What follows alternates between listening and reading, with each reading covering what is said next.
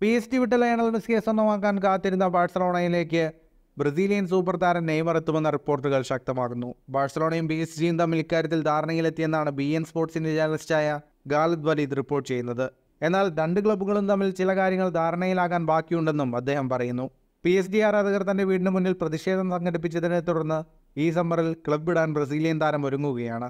ഇതിനു മുൻപ് പലതവണ ബാഴ്സയിലേക്ക് മടങ്ങാൻ നെയ്മർക്ക് താല്പര്യമുണ്ടായിരുന്നെങ്കിലും പി എസ് ഡി അതിന് സമ്മതിച്ചിരുന്നില്ല.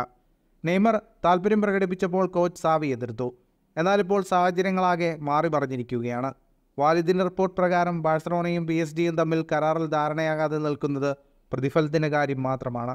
നെയ്മറുടെ പ്രതിഫലത്തിൽ വലിയൊരു ഭാഗം പി എസ് ഡി നൽകണമെന്നാണ് ബാഴ്സയുടെ ആവശ്യം. ഇതിനർത്ഥം നെയ്മറെ ലോണിൽ ടീമിലെത്തിക്കാനാണ് ബാഴ്സലോണ ശ്രമിക്കുന്നതെന്നാണ്. ഇതിന് പി എസ് ഡി തയ്യാറായില്ലെങ്കിൽ ട്രാൻസ്ഫർ നീക്കങ്ങൾ ഇല്ലാതാകാനാണ് സാധ്യത. പി എസ് ജിയുടെ ഉടമകളായ ഖത്തറിന് കീഴിലുള്ള പ്രമുഖ മാധ്യമമാണ് ബി എൻ സ്പോർട്സ് എന്നതിനാൽ തന്നെ ഈ വാർത്തകൾ തള്ളിക്കളയാൻ കഴിയില്ല.